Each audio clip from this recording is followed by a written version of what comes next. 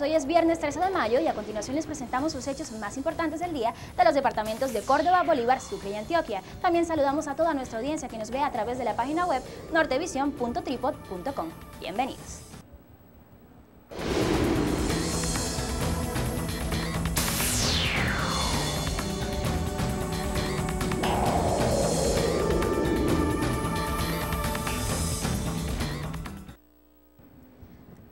Llegó el propio, el propio chip Comcel en prepago. Solo tienes que recargar mil barritas y puedes hablar gratis con tres elegidos ilimitados con Cel que te da el propio chip. Con tu mamá, con tu amiga, mejor dicho, con el que sea. Y si quieres más, te damos 1.600 pesos de carga inicial para hablar de una a Concel. Compra ya tu propio chip y recuerda, código 645 para inscribir a tus elegidos ilimitados con Cel. El propio chip Concel sabe lo que quiere mi gente.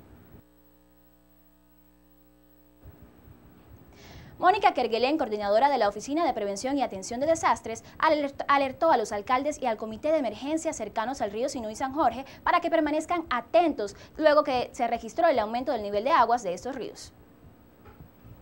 Se empeora la situación en el río San Jorge, así lo aseguró la coordinadora de la Oficina de Prevención y Atención de Desastres, quien hizo un llamado a los comités locales de emergencia para que se mantengan atentos ante cualquier situación.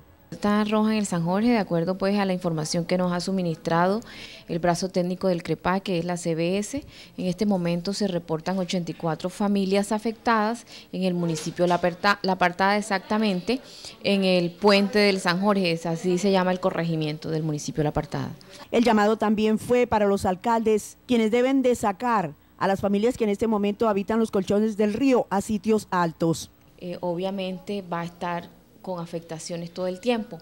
Eh, sin embargo, pues eh, yo presumo que el alcalde del respectivo municipio presentará en su momento, eh, digamos que la solución a esta problemática al gobierno nacional. De todas formas, los municipios financieramente no se encuentran muy bien. Se ha solicitado apoyo al gobierno nacional y estamos a la espera de todo esto. La funcionaria también reveló la situación de emergencia que se presenta en el municipio de Uré. En el municipio de San José de Uré igualmente también se reporta una afectación de 50 familias afectadas, para un total de 134 familias nuevas que no están reportadas en el censo anterior. En lo que corresponde al río Sinú, también la Oficina de Prevención y Atención de Desastres está atenta, ya que los niveles están subiendo en forma considerable. La CBS, que es quien realiza pues el monitoreo y el seguimiento a estas cuencas, eh, igualmente eh, declaró la alerta naranja en la cuenca del Sinú. Ellos eh, manifiestan que en el punto crítico, exactamente en el, teatrino, hay 40 centímetros de borde libre. Ellos van a seguir realizando el, seguimiento y el monitoreo a la cuenca. conversé con, con URRA Igualmente todavía mantienen la capacidad de amortiguamiento, dice que todavía no hay riesgos. Ellos no están operando con las cuatro máquinas, pero no están al máximo. Manifestó que en este momento el municipio de San Pelayo, Lorica y Cereté no le ha reportado familias damnificadas. Ellos están solicitando es, eh, eh, ayudas eh, para estas obras provisionales con costales pero hasta el momento no me han reportado que haya afectación en estos dos municipios. Dijo que la situación más crítica se puede presentar durante el fin de semana, ya que de acuerdo a los pronósticos del IDEAN, arreciarán las lluvias en este departamento. Jairo Salazar Macea, secretario de Gobierno de Montería, aseguró que en la ciudad todo se encuentra listo para afrontar las inundaciones que se avecinan durante el fin de semana de acuerdo con los pronósticos del IDEAM. Recuperamos suelos y capturamos dióxido de carbono a través de la reforestación de 1.565 hectáreas alrededor de la central hidroeléctrica Urra 1.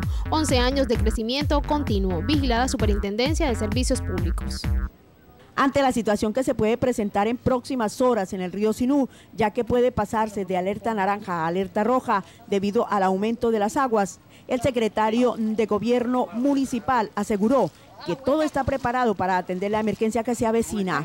Bueno, pues tenemos los planes de contingencia, el CROPAD está activado, las distintas autoridades estamos haciendo monitoreo, ahorita no hay, obviamente, que podamos hablar de, siniestros o damnificados, y, creo que ya Urra había dicho que tiene un colchón que había, para que no, no suceda obviamente lo que eh, había se había, había, perdón la repetir, había sucedido hace, hace muchos tiempos.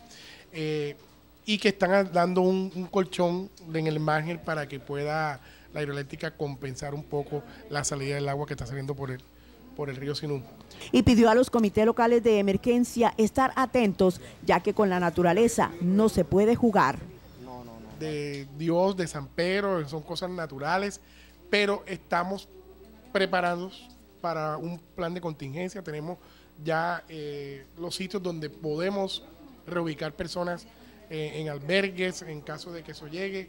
Estamos terminando también otro proceso de reubicación pasados. En fin, estamos eh, pendientes, estamos alerta, estamos que la misma comunidad nos avise. Ustedes gracias por estar informándonos también a todos y decirles a cualquier persona que en el momento que pase cualquier urgencia, comunicarse directamente a la policía a la estación de policía o al CAI más cercano. Y pidió al Todopoderoso para que la situación de emergencia que en este momento se presenta en el San Jorge no ocurra en el SINU. Eso es lo que queremos que, no suceda. Eh, como le digo, son cosas naturales. Eh, hay que tener fe y optimismo eh, que seguimos conservando todavía que para esta parte del país no sea tan fuerte el, el invierno como lo que está pasando en Cundinamarca, como lo que está pasando en el Valle como lo que está pasando también en el Atlántico. Esperamos que eso no sea tan, tan fuerte. Las declaraciones fueron entregadas por el funcionario al término de una reunión urgente con el CLOPAT. Milena Espitia, funcionaria de la CBS, jamás pensó que una frase dicha por ella durante una declaración al término de la reunión del CLOPAC generara polémica negativa. Por eso quiso aclarar su expresión para evitar malos entendidos. Cuando estés en tu casa, cuando estés en la de tu amigo, Tapa bien la basura y problemas no vas a tener. Lava bien lo que comes, sirve el agua que tú te tomas. Con higiene y limpieza vives sano y tu vida gozas. Un ambiente sano es más bacano. Un ambiente sano es más bacano. Con buenas prácticas y hábitos de higiene, proteges la salud de tu familia. Un mensaje de Cruz Roja Colombiana y Oxfam, con el apoyo de la Agencia Canadiense de Desarrollo Internacional. Con el propósito de poner punto final a la polémica suscitada en torno a unas declaraciones entregadas por la funcionaria de la CBS, en las que afirma que al municipio de Tierra Alta no se puede entrar por cuestión de inseguridad. Hoy la funcionaria respondió en los siguientes términos. De ayer manifestamos y entregamos por eh, documento físico que existen cinco puntos en el municipio de Tierra Alta tipificado como de difícil acceso por las condiciones en que se encuentran. Están ubicados en la parte alta de la cuenca, en la quebrada Tai y en otros sitios que es de difícil acceso para los técnicos de la corporación no nos hemos referido a orden público en ningún momento y así está dentro del documento que se le entregó al CREPAT en el día de ayer. Precisamente lo quise resaltar entre comillas para que no hubiese en ningún momento algún malentendido o descontextualización del tema. Cuando decimos que es difícil para la corporación o para los técnicos de la corporación asistir en ese momento es porque nos reunimos ese día con el delegado de la alcaldía de Tierra Alta, visitamos seis puntos que están casco urbano y vereda. Llegamos hasta veredas del municipio de Tierra Alta y existieron unos puntos que están en la quebrada, en la parte alta de la cuenca, a la cual no pudimos llegar ese día. Afirmó que su respuesta quizá fue mal enfocada. Seguridad, en el momento de pronto hubo una descontextualización de la respuesta o de la pregunta que me hicieron y estamos hablando es que no hay seguridad para los técnicos llegar allá, pero no por orden público, por el difícil acceso en el que se encuentran los puntos que referenciaron el día del 25 de marzo en el CREPA y así fue manifestado también por el delegado de la alcaldía que nos acompañó en ese momento. Y luego de escuchar las declaraciones del comandante de la policía, quien asegura que el propio director de la CBS ha pedido protección para su gente, la funcionaria manifestó que en ningún momento se han acercado a la policía a pedir protección. Hasta el momento no lo hemos solicitado, no ha sido necesario, hemos ido en compañía de los funcionarios de la alcaldía y hemos podido llegar a las zonas urbanas y rurales del municipio de Tierra Alta a los puntos que hemos visitado. Las declaraciones fueron entregadas por la funcionaria al término de una rueda de prensa. Nos vamos a una pequeña pausa comercial, pero en instantes continuamos con más información desde, desde Norte Noticias. Ya regresamos.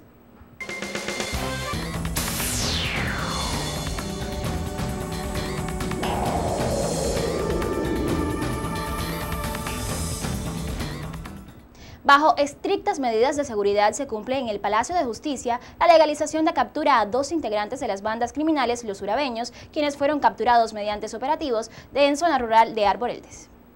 Continúa el proceso de audiencia para la legalización de captura por parte de los jueces de garantía a 12 integrantes de la banda criminal Los Urabeños, los cuales fueron retenidos mediante operativos realizados por la policía en una amplia zona del Urabá, especialmente en el municipio de Arboletes.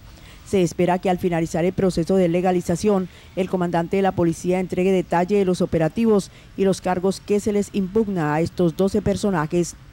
Asimismo, y tan pronto termine la judicialización, serán trasladados a la cárcel nacional Las Mercedes, donde se espera la audiencia de cada uno para que se resuelva su situación jurídica. Las armas que fueron incautadas al momento de la captura de estos 12 integrantes de los urabeños fueron puestos a disposición de la Fiscalía. El Colegio Nacional José María Córdoba está siendo remodelado en su estructura por la Administración Municipal. Hoy fue entregada la primera fase de los trabajos, así lo aseguró el secretario de Educación Municipal. Mejoramos la regulación de las crecientes presentadas aguas arriba con la ampliación de la capacidad de almacenamiento de su embalse. URRA 1, 11 años de crecimiento continuo. Vigilada Superintendencia de Servicios. El secretario de Educación Municipal celebró el adelanto de las obras que se realizan en el Colegio Nacional José María Córdoba, una obra prioritaria para la administración municipal. Eh, acabamos de llegar de allá, de inaugurar la primera fase de este megaproyecto que es la transformación del colegio más importante, la institución educativa de mayor tradición en la ciudad de Montería. Igualmente reveló que la última fase de los megacolegios está próxima a finalizar, por lo que serán inaugurados con presencia del presidente de la República. Eh, hemos avanzado en matrículas, eh, estamos ya esperando que la fase final de terminación de obras civiles que están a cargo de FONADE logren culminarse para eh, Dios quiera, próximamente con presencia del señor presidente de la República podamos inaugurar. Finalmente aprovechó para enviar un saludo de felicitación a los maestros, ya que el próximo 15 es su día. 15, Día Internacional del Maestro, eh, un saludo lleno de cariño, de afecto y de, eh, de felicitaciones a todos los docentes del municipio de Montería. Eh, nuevamente reiterarles el compromiso y decirles que sabemos que solo ellos tienen la competencia, el conocimiento, pero sobre todo la vocación para realizar las transformaciones sociales que Montería y la sociedad monteriana en especial necesita. Según el secretario, se está avanzando en forma positiva en lo que tiene que ver con el sector educativo en esta parte del país. Habla gratis con tus tres elegidos ilimitados con Cel que te da el propio chip, gratis como nos gusta a nosotros. Y si quieres más, te damos nueve números amigo para hablar a una tarifa especial amigo con Cel. Compra ya tu propio chip y recuerda, código 645 para inscribir a tus elegidos ilimitados con Cel. El propio chip con Cel sabe lo que quiere mi gente. La remodelación de la avenida Primera, cuyo costo es de 3 mil millones de pesos, está incluido dentro del plan Ciudades Amables, así lo explicó el alcalde Marcos Daniel Pineda García a la prensa local. Lávate las manos, lávatelas bien, antes de comer, antes de cocinar. Lávate las manos, lávatelas bien, después de ir al baño y de cambiar al bebé. Con buenas prácticas y hábitos de higiene, proteges la salud de tu familia. Un mensaje de Cruz Roja Colombiana y Oxfam, con el apoyo de la Agencia Canadiense de Desarrollo Internacional. Tal como lo había estipulado el alcalde de la ciudad, que la avenida primera sería transformada casi en su totalidad. Así se están cumpliendo las obras, aseguró el propio mandatario. Recuerden ustedes que Ciudades Amables en su primera fase se concentra en el centro de la ciudad, porque el estudio técnico de la Universidad Nacional así lo indicó.